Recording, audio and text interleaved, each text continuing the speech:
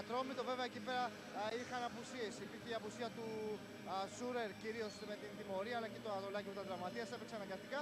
Σήμερα για λόγους τακτικής τον τραβάει πίσω ο Σόλιτ χρησιμοποιώντας τον α, Μίλος Μάριτς. Αυτό δεν σημαίνει ότι δεν θα προωθείτε και όταν χρειάζεται το Τουρέ, γιατί με το ύψος, την κορμοστασιά και την τεχνική του μπορεί να βοηθήσει Κυρίως και στην στις- επίθεση. στις έτσι. στιμένες Στις φάσεις, στιμένες κυρίως. φάσεις, βεβαίως. Τώρα, ναι.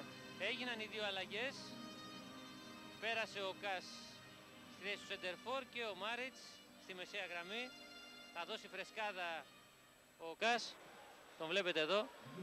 Και ταχύτητα βεβαίως. Τώρα ε, έχει δύο πολύ γρήγορους μπροστά Λάμπρο. Έτσι. Και ο Καστίγιο και ο Κας. Βεβαίως. Σαΐτες. Η σέντρα για τον Ηρακλή.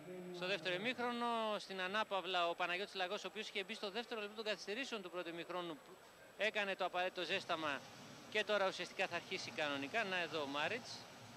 Είναι και ο Λαγός αναγκαστική αλλαγή για τον Ηρακλή αφού τραυματίστηκε ο Ερέρα και ζήτησε αλλαγή. Θυμάστε λίγο πριν ολοκληρωθεί το πρώτο μέρος.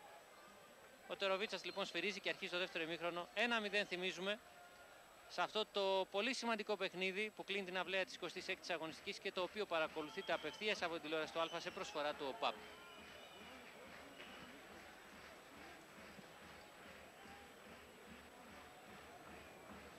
Το πλάγιο για τους γηπεδούχους.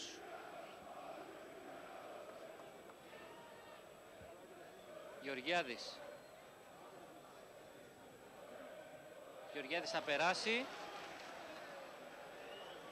Η σέντρα του χαμηλά διώχνει ο Τουρέ. Τζόρτζεβιτς πιο μακριά. Κατσαμπής. Πλάγιο είναι για τον Ολυμπιακό.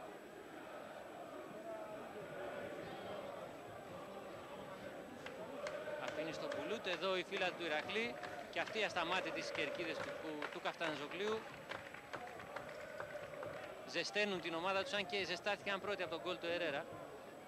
Πάμε πολύ γρήγορα στον ε, πάγκο του Ηρακλή. Ε, Γιάννη, δεν ξέρω αν υπάρχει διαφοροποίηση στην τακτική του Ηρακλή με την είσοδο του Λαγού και την αναγκαστική βέβαια απομάκρυνση, αποχώρηση του Ερέρα. Όχι, περισσότερο είναι αλλαγή προσώπων και όχι ρόλων. Δηλαδή θα έχουμε πάλι επιθετικό δίδυμο στον Ηρακλή με τον ε, Παλέ και τον Λαγό.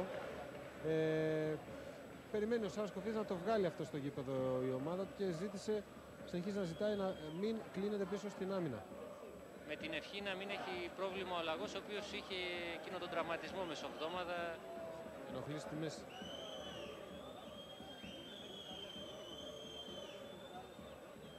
Μάριτς. Δεν πέρασε η παλιά του. Λαβάλ. Τη στέλνει στον Τζόρτζεβιτς. Που παίρνει, δεν μπορεί να συνεχίσει.